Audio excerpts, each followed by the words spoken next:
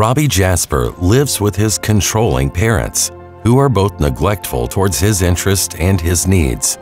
He is graduating high school and can't wait to escape home. His father, Mr. Jasper, is an architectural engineer who is rarely home, traveling the world for work and maintaining the family's wealthy lifestyle. His mother, Mrs. Jasper, is much more concerned with what other people think than she is with her son or husband. So when Robbie's dad schedules a 10-day canoe trip for the family in an attempt to mend their fractured relationships, it comes as a shock and an unwelcome burden. This journey down the Rio Grande ends in tragic disaster as Robbie ends up an orphan. But in an unimaginable twist, this tragedy finds Robbie reborn, an independent river rat who fully embraces the lifestyle of the open water, grounded in the values of his fellow rats, and embracing the humble lifestyle that they lead